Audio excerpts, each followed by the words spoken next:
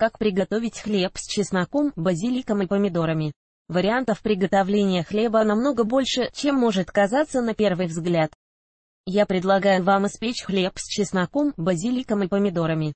Такая выпечка понравится любителям пряных блюд. Видео по теме.